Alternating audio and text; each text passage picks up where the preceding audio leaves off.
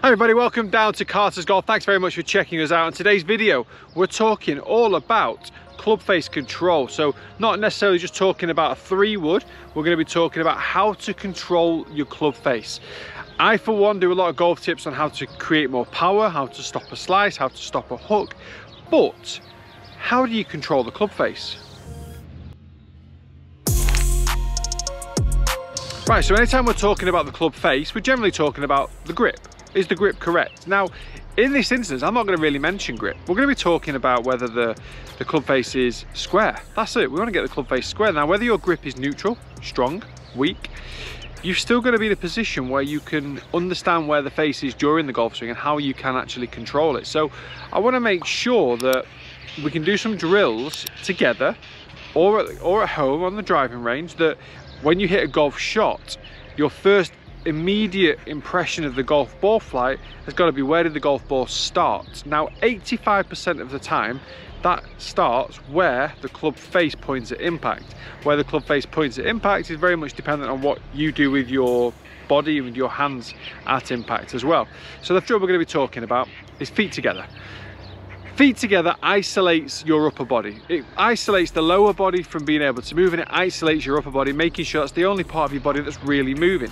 Very, very easy to start then wrapping the hands around the club face too much and around the golf ball and closing the face and hooking it and then maybe as an instant reaction then to open the club face on the way through we're effectively steering the golf ball using our hands and from halfway down the downswing to impact to halfway through the follow through, that golf club has actually rotated 180 degrees. That's an angle that we've got to be in control of and we've got to understand and we've got to get better at controlling. Whether you're, if your swing path's out to in or in to out, you're still going to need to be able to control that club face as well. All right, so as I hit that shot, I skied it a little bit because it's not normally my normal golf swing. But the, the, ball started slightly right of target so I can now assume club face as I struck the ball was ever so slightly open. If the club face was slightly open and I go into that full speed I hit that push shot to the right or if I open it too much and I cut it if I've cut across it in my swing it creates the slice shot.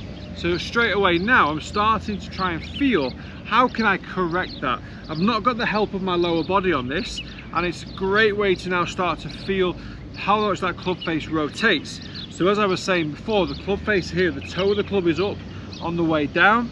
It goes into impact and it comes through straight into this position where the toe of the club is now up. So that club face has rotated 180 degrees.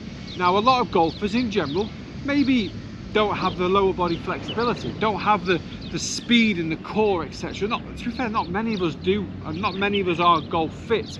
So we're going to have to use the hands and arms to create some power, create more speed, but also to be able to control the club face as well. So we've got to be able to kind of be aware of exactly what the hands and arms are doing during the golf swing to help create speed and help create power. I really love this drill with a lot of the clients that I coach because I really want them to be able to understand what the club face is doing through the golf shot, being able to use the lower body is, amazing but being able to coordinate it with their upper body is massively important. So again feet very close together.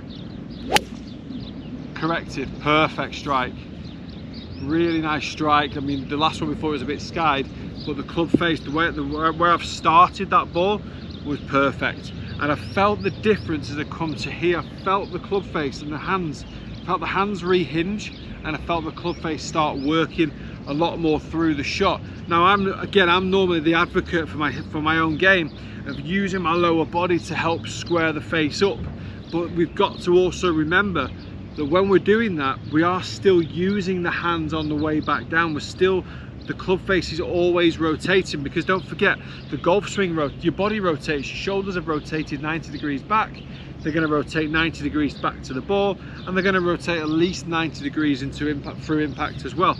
So you have to make sure that everything is uniform. So getting an understanding of how the club face releases through the golf ball working on that release pattern how that's going to feel when you get over a golf ball is going to feel so different when you've set the wide stance and you've got the whole body working as well